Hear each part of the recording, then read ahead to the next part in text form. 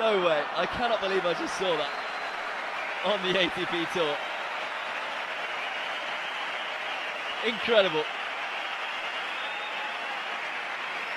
How seriously is he taking this match? Maybe he just doesn't believe he's going to break the half serve back, but that is a sensational trick shot. Shame he didn't win the point.